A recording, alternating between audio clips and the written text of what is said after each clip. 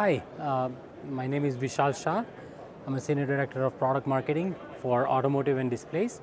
And today we are showcasing our latest generation of automotive product called SmartBridge SP7900 uh, with the local dimming capability. So, it has very deep blacks. It has a deep blacks and, and hi- very high contrast ratio that you can see from OLED screen. So this is an LCD screen with OLED-like contrast ratio. So it can provide a very high brightness, a very high contrast ratio, and also can save significant power by having a direct array of the LED backlight that you can control depending on the uh, type, the screen that is being displayed, images being displayed on the screen. That's very nice for 50% of the day uh, when it's night, uh, right? When people drive in the night, you want to be distracted by uh, too bright of a display. It needs to be able to come down. Yeah, it can it can it can lower the uh, depending on the uh, ambient light settings. It can lower the uh, display and keep the contrast ratio, so you can still have the very vivid display uh, and save the power by reducing the backlight strength. And you can adjust some things here the show. Yeah, so so the demo right now it's in auto run mode, so it runs in the local dimming off case, then then it turns on the local dimming, then it shows side by side by splitting the half screen in local dimming on and local dimming off, and also we have a very cool feature, a very very uh, impressive feature that can show a new person who does not know much about local dimming to showcase how local dimming actually works.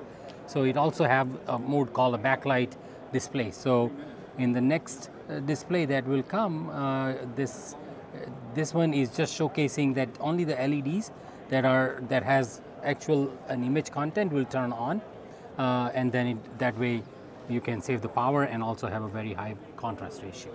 And one of the advantage of LCD is also the highest peak brightness potentially. It could be very high. Very high, yes. It can get go up as, as high as 2000 nits, uh, even higher if uh, if a backlight supports it, uh, and we can uh, our smart bridge can support any any settings that LCD requires. So when it's very sunny day, you see everything, and when it's dark night, you can dim everything down. is the, nice also. Yeah, you can dim down the LCD. It's it's it's high brightness that you cannot get with OLED screens. So what can you adjust here? So you can actually you can turn on and off the the screen the the the, the local dimming. So with this case, right now it's showcasing uh, same video playing, but only you can see how the backlights are moving. So depending on the fireworks, different portions of the backlight being illuminated. This is just to showcase how the local dimming technology works. Now I'll, I'll showcase the normal image, and this is with local dimming off, and you can see there is some gray. This is the this is showcasing the lot of light leakage. This is showing a lot of light leakage because the local dimming being off. You can see the blacks are actually there is a sort of a grayish tint on the black, right? It's not true black. The contrast is not very high. By turning on local dimming, now we can see blacks are very deep black, and then the contrast ratio is very very good and and in this mode also we can see side by side comparison by disabling local dimming on the left side of the screen and then right side of the screen has uh, local dimming enable and you can see the difference in the contrast between the two so the right side looks much much more vivid uh, more spectacular in terms of overall quality and then left side has a lot of grayish black so, so that's the advantage of local dimming. And the way Synaptics local dimming works is it can it can also provide high level, higher uh, image performance with the low number of zones that provides the cost savings without giving up the performance.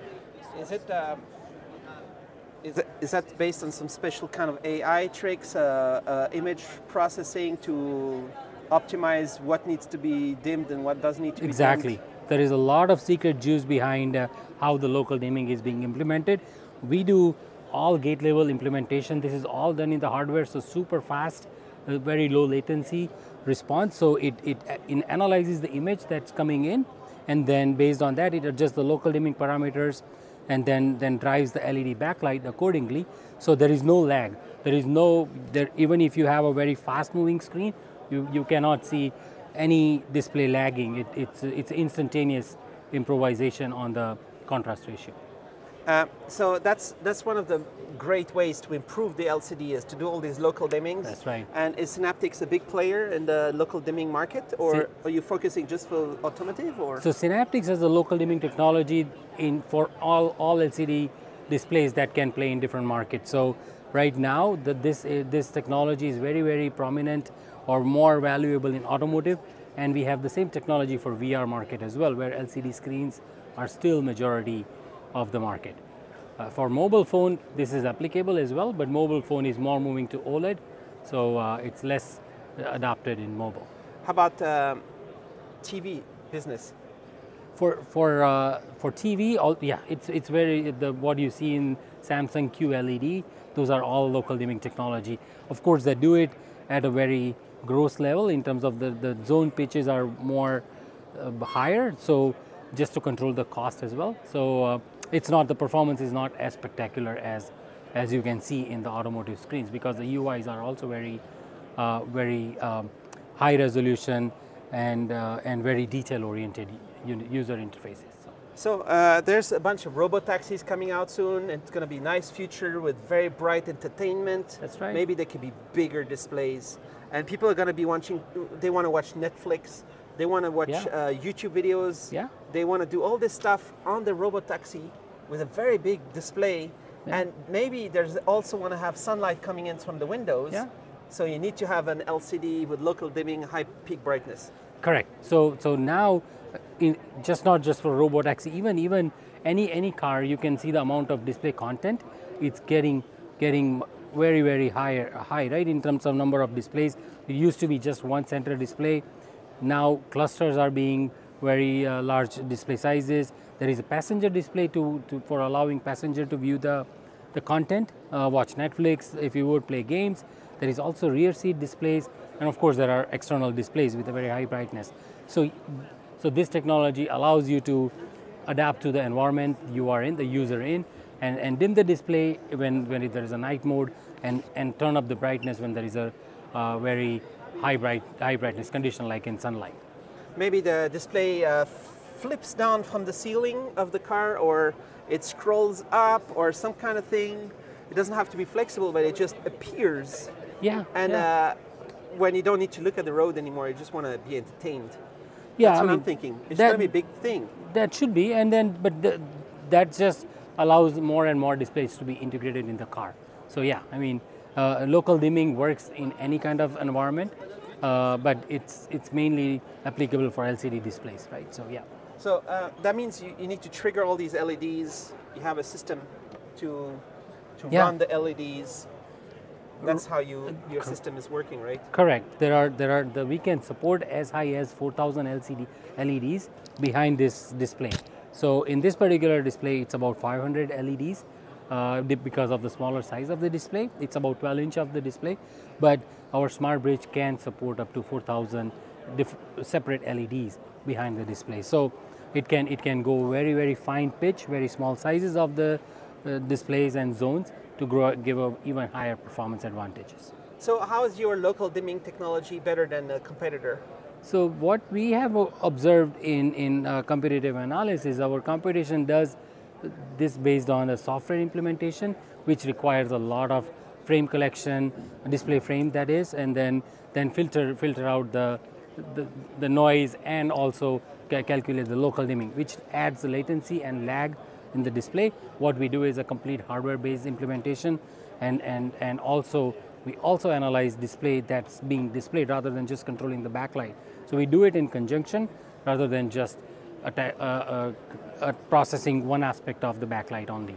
That that allows us to get a very high uh, image quality and also uh, power savings and uh, overall performance advantage. Is it one of the advantage of Synaptics is doing on the silicon? On That's the correct. That's correct. That's one of the major advantage because user experience is all about having instantaneous uh, feedback on what is being displayed, and having done it in hardware gives you zero latency, almost zero latency to to be able to show that on the display.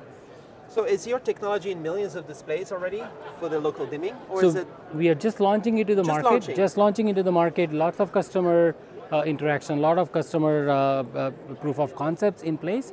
So you should see this in next coming year to to be uh, in the cars on the road.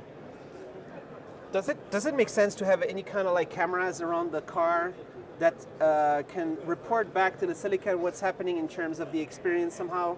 Uh, does that make any sense? What I'm saying? Yeah, Like- yeah, no, it does make sense, and and that's certainly one of the one of the areas that to be to be developed on. I mean, we don't have a solution today, but that's something we are looking at constantly to see if we can uh, actually external cameras one, but also looking at internal driver monitoring system to see uh, uh, integrate the driver monitoring system inside the display and see if we can process monitoring the driver to add some more safety uh, aspects of it using our AI algorithms. because maybe there's more uh, more delicate uh, what's it called measurement of the ambient situation That's with more correct. cameras somehow to really optimize your brightness and your color dimming and everything to the exact situation of the ambient light. So that that is an interesting interesting uh, idea, but you don't need to do that as far as because we our algorithm looks at the image that's coming in, so it, it and it does it in a same frame instantaneously. So it does not require so much information of surrounding am- ambient. It knows the image coming in and it can calculate the local dimming parameters just based on the image data coming in. So we can save costs by not requiring so much external information as well. So you're partnering with the whole display industry for this? That's correct. We are engaged with every uh, display manufacturer and uh, different tier ones and OEMs, and everybody has been very receptive of our technology and performance so far. And it goes from small to very big. It can go, it can go from very small VR displays to the automotive display, 50-inch automotive displays. 50. 50 inches, yes. And some people are making uh, 115 inch LCDs in this show. That's You right. wanna yeah, we can do that. I mean, this Bigger? this product is targeted for automotive, but yeah, I mean, the technology can be applicable to TV, very large, large size TVs as well. That's correct. And here we are showcasing the local dimming technology enabled by our Smart Bridge SP7900. And in this particular demo, we are showcasing side-by-side comparison of Synaptics' local dimming using Smart Bridge versus our competitors' similar solution uh, with the local dimming capability. And, and uh, everything in this demo, in this panel, it's using same panel, same backlight. Only thing difference between the two panels is a smart bridge that drives this displays. So on the right, it, it's a SP7900, and on the left is a competitor solution, uh, and same panel as I mentioned earlier. So what's the difference people can see? So, so in this particular, uh, when you play a normal video like this, you can see the display. The images are very, very spectacular. You can see the deep blacks, very good contrast ratio. But that's that's not all about. Uh, that's not all when it comes to automotive UI, because yeah, you can you can have the simple displays look very stunning, but automotive UI with the cluster uh, and lot of instrumentation display it's, it's, it, it can be very dynamic and then local dimming performance can make or break the difference. So we can showcase some of the killer patterns that can show the difference of superior uh, local dimming of synaptics versus the similar the uh, similar technology but lower performance from our competition. Uh, Is it running on the chip there? Yeah, yeah, the one on the center, uh, the big, uh, the, the chip in the center, that's our smart bridge SP7900. And uh, so in all kinds of scenarios, it provides better performance. Correct. You can see that the, the blacks are super black, and then you can see the performances looks very, very, very, very good. Now, this is this is where things starts getting interesting. You can see we are we, we, we call this a killer pattern, where a, a small white box moves on the black screen, and and if the local dimming technology, and local dimming processing is not done right, you can have image artifact. Image artifact can start showing. And this is very relevant to the automotive displays where there is a lot of dark background with white, white objects on the dark background. And you don't want to have any artifacts. So that's, that's what we are showcasing, that, that we don't lose brightness, we don't lose any, uh, we don't have any image artifact versus the, uh, on the competition display, the, display with the competitive solution, you can see the brightness starts, it's losing the brightness. Also, there are some bands that you can start seeing. So that's, that, that can create a lot of image issues.